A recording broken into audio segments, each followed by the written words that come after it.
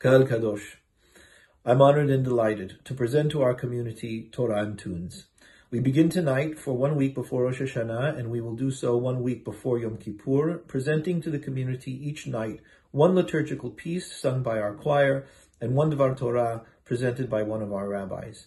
We do this because we know that this year many of us will be staying home, and even those who will be coming to synagogue will not be able to hear our choir sing the beautiful pieces of our prayers written by our illustrious ancestral poets from Spain that so lift us and inspire us. We will not hear these pieces in their full beauty.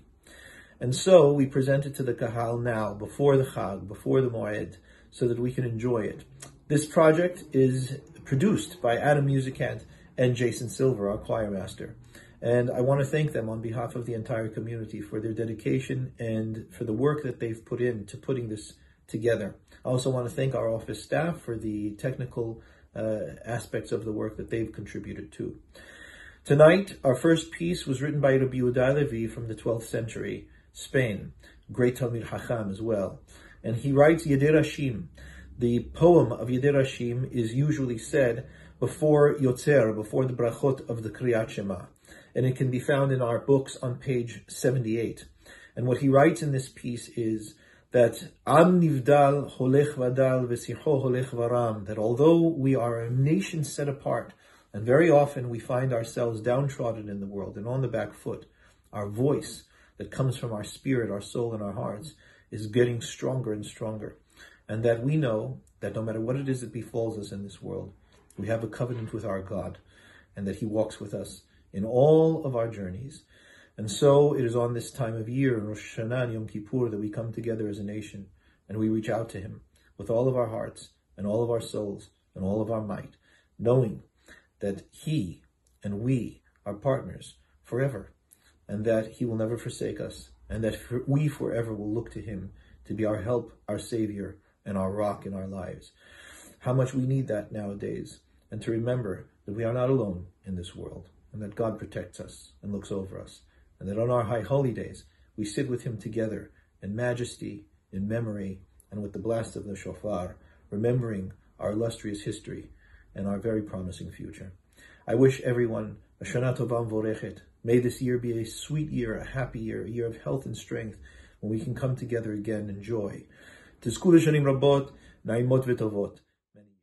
יתרשים נחלשים להשיג יתך עופרם אבל ברוחם ומשיחם יקדמו את פני יוצרם עם נבדל הולך ודל ושיחו הולך ורם והיבל אדם בבית מולדם, ובגרונם רוממות אל, להקדיש את קדוש יעקב ואת אלוהי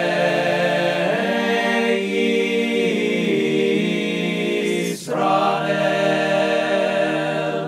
הלא אם ספת בבסף ואין אפוד ומניפים, ופרוכת ומערכת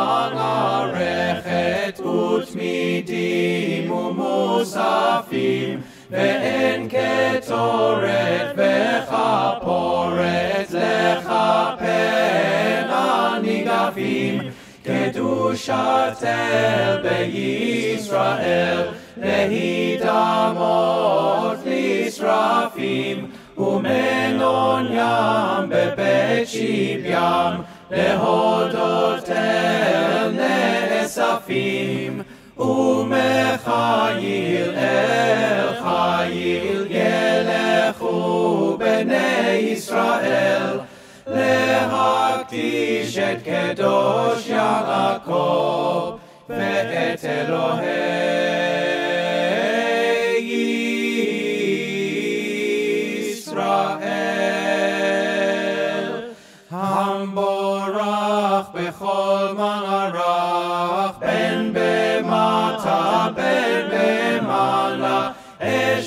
מערך, בין במטה בין במעלה, אש מים ושמיים והארץ אשר תעלה יעידו נא לשפנה כי מה רם ומה נפלא ונבטיו ושון ידיו לדינו עומדים סלע ביום פוקדו be on